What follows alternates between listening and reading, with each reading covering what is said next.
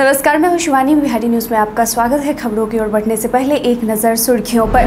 सावन में भगवान शिव की 108 मीटर ऊँचा प्रतिमा बना आकर्षण का केंद्र। राज्य के सभी सरकारी कर्मियों का रखा जाएगा ऑनलाइन रिकॉर्ड। बीजेपी जदयू के बीच तनातनी को लेकर बोले राजद सांसद। आरसीपी सिंह ने नीतीश कुमार पर किया कड़ा पलटवार। भारत को आखिरी मैच जिताने के बाद कप्तान हार्दिक का बड़ा बयान। अब चलिए बढ़ते हैं शाम तक की बड़ी खबरों की ओर विस्तार से। सावन में भगवान शिव की 108 मीटर ऊँचा प्रतिमा बना आकर्षण का केंद्र। आज सावन महीने का आखिरी सोमवार है, जो कि भगवान शिव के भक्तों के लिए विशेष महत्व रखता है। आज भारी संख्या में श्रद्धालुओं की भीड़ प्रदेश के छोटे बड़े शिवालयों पर देखने को मिली। वहीं इस सावन बिहार के सासाराम ज़िले में भगवान शिव की विशेष प्रतिमा ने सभी का ध्यान अपनी ओर आकर्षित कर लिया। इस प्रतिमा को देखने के लिए आपको अपना सिर पूरी तरीके से उठाना होगा, क्योंकि इस प्रतिमा की ऊंचाई सामान्य नहीं है। जी हाँ 108 फीट इस ऊँची शिव प्रतिमा का निर्माण रोहतास के जिला मुख्यालय सासाराम और डेहरी मार्ग में किया गया है। महायोगी पायलट बाबा आश्रम में बनाए गए इस विशालकाय शिव प्रतिमा के सावन में बड़ी संख्या में लोग पूजा करने के लिए पहुँच रहे हैं।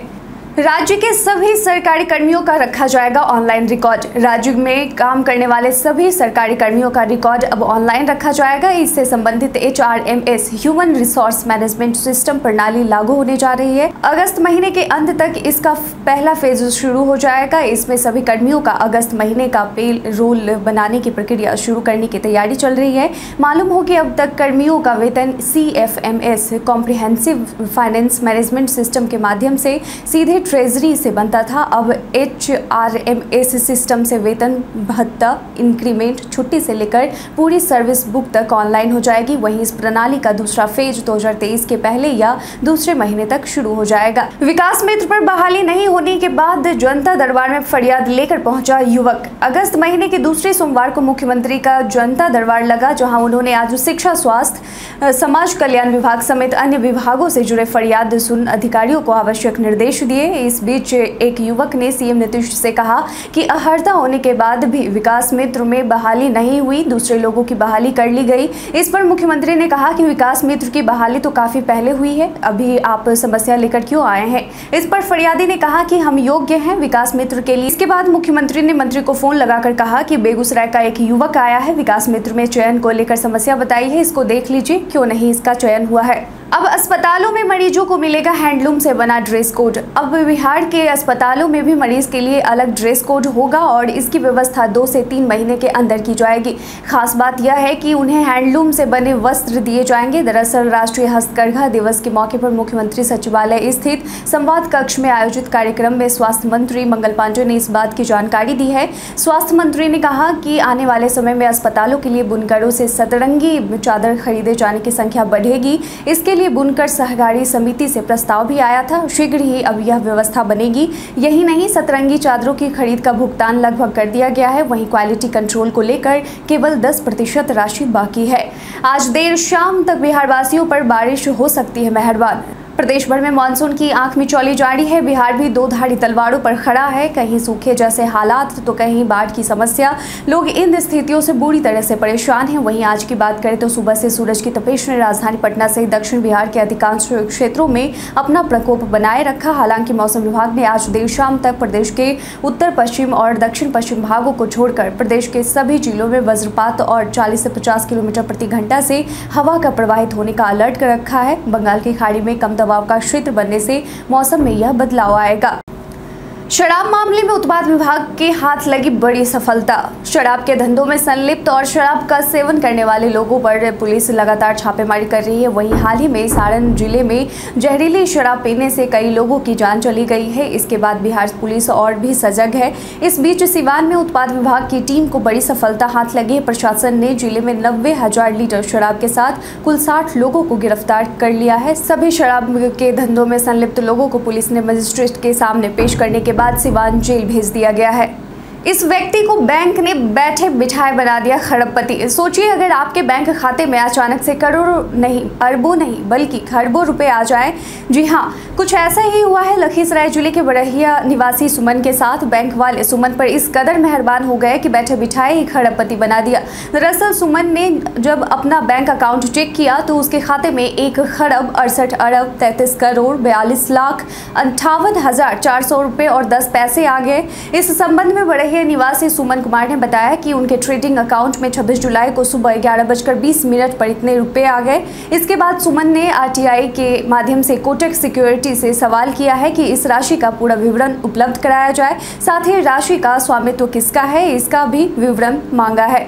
मुहर्रम को लेकर पुलिस प्रशासन हुई सख्त जारी किए गए हेल्पलाइन नंबर। मुस्लिम समुदाय के लोगों का महत्वपूर्ण त्योहारों में से एक मुहर्रम 9 अगस्त को मनाया जाने वाला है। मुहर्रम के मद्देनजर पुलिस प्रशासन भी चौकस है। राजधानी पटना सहित सभी जिलों में कानून व्यवस्था को लेकर सख्ती बढ़ा दी है। चौक चौराहों पर विशेष पुलिस बल तैनात कर दिए गए हैं, जिसका असर राजधानी पटना में भी दिख रहा है। पटना जिला प्रशासन ने सुरक्षा को लेकर व्यापक इंतज़ाम किए हैं। जिलाधिकारी डॉक्टर चंद्रशेखर सिंह और एसएसपी एम एस ढिल्लो ने बीते दिन पुलिस अधिकारियों को असामाजिक तत्वों और अफवाह फैलाने वाले लोगों पर सख्ती से निपटने के निर्देश दिए हैं। साथ ही helpline number zero six one two two two one nine eight one zero या two two one nine two three four भी जारी किया है जिस पर अप्रिय घटना होने से रोकने के लिए आप कॉल कर सकते हैं। प्रदेश में ठंडा का कहर बरकरार। बिहार में वज्रपात का कहर जारी है और इस साल वज्रपात की वजह से अन्य वर्षों की तुलना में सबसे अधिक जान गई है। सरकार भी इस समय समय पर इसको लेकर लोगों को जागरूक कर रही है, लेकिन फिर भी जान जाने की संख्या में कमी नहीं आ रही है। वहीं एक बार फिर ठंडा की चपेट में आने से तीन लोगों की जान चली गई है, जिनमें दो बच्चे और एक युवक की जान चली गई। ताज़ा मामला गया के बेलागंज प्रखंड के गाजी फतेहपुर गाँव की है, जहाँ ठनका गिरने से तीन लोगों की जान चली गई है। मृतकों में दो बच्चे समेत एक युवक शामिल है। वहीं दो बच्चे घायल बताए जा रहे हैं। बीजेपी जदयू के बीच तनातनी को लेकर बोले राजद सांसद। बिहार की राजनीतिक सरगर्मी तेज है, जहाँ बीजेपी और जदयू में तनातनी की खबर लहर मार रही है। इन खबरों के बीच आरजेडी सांसद मनोज कुमार झा ने कहा कि राजद बिहार में सबसे बड़ी है। उन्होंने कहा कि राज्य में अस्थिरता को नहीं आने देंगे। बिहार तय करेगा कि उसके लिए सबसे अच्छा क्या है। बता दें कि अगले दो दिनों में राज्य में चार महत्वपूर्ण दलों के विधायक दल की बैठक होगी। इनमें राजद, जदयू, कांग्रेस और हम जैसी प्रमुख पार्टियाँ होंगी। नीतीश कुमार को बिहार के विकास की नहीं कुर्सी की है चिंता। आरसीपी सिंह के इस्तीफे के बाद से बिहार में राजनीतिक सरगर्मी तेज हो गई है। अगले दो दिनों में राज्य में चार महत्वपूर्ण दल जदयू, आरजेडी और हम और कांग्रेस के विधायकों की महत्वपूर्ण बैठक होने वाली है। इस बीच रालोजपा अध्यक्ष चिराग पासवान ने मुख्यमंत्री नीतीश कुमार पर बड़ा आरोप लगाया है। उन्होंने सीधे सीधे कहा है कि मुख्यमंत्री को बिहार के विकास से कोई मतलब नहीं है, उन्हें बस सत्ता सुख भोगना है। चिराग पासवान आज राजधानी पटना में अपने आवास पर पत्रकारों के सवालों के जवाब में कहा कि उन्हें विकास से कोई मतलब नहीं है, जबकि चिराग मॉडल तो विकास का मॉडल है। बिहार की 32 लाख जनता ने हमें सपोर्ट किया है, उनका मॉडल क्या है, यह उन्हें बताना चाहिए। वहीं बीते दिन चिराग पासवान ने नीतीश कुमार को पलटू राम भी कहा था। क्या जेपी नड्डा के बयान को जदयू ने दिल पर ले लिया। बीजेपी और जदयू में क्या सब कुछ ठीक है? वाला सवाल हर किसी के ज़ुबान पर काफ़ी समय से है। अगर नहीं तो आखिर जदयू और बीजेपी के रिश्तों में किस बात की खटास है? ना ही कभी जदयू ने खुलकर बताया और ना ही बीजेपी ने, लेकिन इसको लेकर हमेशा से अटकलें तेज रही हैं। वहीं बिहार की राजनीतिक गलियारों का मौजूदा हालत पर चर्चा जोड़ों पर है। कहा तो ये भी जा रहा है कि जदयू भाजपा का दामन छोड़ सकती है। वहीं अब खबर ये भी आ रही है कि जदयू भाजपा के राष्ट्रीय अध्यक्ष जेपी नड्डा के बयानों से आहत हो आपको याद होगा कि बिहार के दौरे पर आए जेपी नड्डा ने कहा था कि बिहार में राजनीतिक पार्टियों का अस्तित्व खत्म हो जाएगा, बचेगी तो सिर्फ़ बीजेपी। इसी बात को दोहराते हुए जदयू के संसदीय बोर्ड के राष्ट्रीय अध्यक्ष उपेंद्र कुशवाहा ने कहा था कि भाजपा बिहार में एक क्षेत्रीय दल के साथ ही सरकार में है और बोलने से पहले तो उन्हें यह बात सोचना चाहिए। आरसीपी सिंह ने नीतीश कुमार पर किया कड़ा पलटवार। आरसीपी सिंह द्वारा जदयू से इस्तीफा देने के बाद सियासी गलियारों में पूरी तरह से उथल पुथल मची हुई है। सभी राजनीतिक पार्टियों में हलचल सी मची हुई है। बयानों के बाद तेज़ी से एक दूसरे पर छोड़े जा रहे हैं। जदयू से इस्तीफा देने के बाद आरसीपी सिंह भी जदयू पर हमलावर हैं। उन्होंने नीतीश कुमार, पार्टी के राष्ट्रीय अध्यक्ष ललन सिंह और उपेंद्र कुशवाहा पर हमला बोलते हुए कहा कि लोग कहते हैं कि आरसीपी नीतीश की कृपा से मंत्री बने हैं। मैं पूछता हूँ कि फिर आपको किसने सीएम बनाया? अटल जी और अडवाणी जी ने। कम विधायक रहने के बाद भी आज कौन सत्ता भोग रहा है? भारत को आखिरी मैच जिताने के बाद कप्तान हार्दिक का बड़ा बयान। वेस्टइंडीज दौरे पर गई टीम इंडिया ने आखिरी टी मैच भी जीत लिया। अमेरिका के रोज ब्रोवार्ड रीजनल पार्क में खेले गए पाँच मैचों की सीरीज़ के आखिरी मैच में हार्दिक पांड्या की कप्तानी में टीम इंडिया ने वेस्टइंडीज को अट्ठासी रनों से हरा दिया। भारत ने पाँच मैचों की श्रृंखला चार एक से जीत ली। वहीं मैच के पोस्ट मैच प्रेजेंटेशन में कप्तान हार्दिक पांड्या ने कहा कि अपने देश का नेतृत्व करने का मौका मिलना बहुत अच्छा एहसास है। ज़ाहिर है कि मैच जीतना मेरे लिए बहुत मायने रखता है। कप्तान रोहित शर्मा ने इस मैच से पहले सब कुछ अच्छा किया है, इसलिए मैंने सुनिश्चित किया कि हम अच्छा काम करेंगे। देश भर में आए बीस हज़ार से कम कोरोना के मामले। केंद्रीय स्वास्थ्य मंत्रालय द्वारा आज यानी सोमवार को जारी किए गए कोरोना रिपोर्ट के अनुसार पिछले 24 घंटे में कोविड 19 के सोलह नए मामले सामने आए हैं। वहीं बिहार की बात करें तो यहाँ बीते दिन जारी किए गए पिछले 24 घंटों के आंकड़ों के अनुसार कोरोना संक्रमण के मामले में बढ़ोतरी हुई है, जिसके बाद राज्य भर में कुल एक कोरोना के नए मरीज़ मिले हैं। वहीं राजधानी पटना की बात करें तो यहाँ सबसे अधिक छप्पन नए मामले सामने आए हैं। वहीं बीते दिन के पिछले चौबीस घंटे में कुल एक कोरोना सैंपल की जाँच की गई है, जहाँ एक सौ अट्ठासी मरीज़ ठीक होकर घर भी वापस लौटे हैं।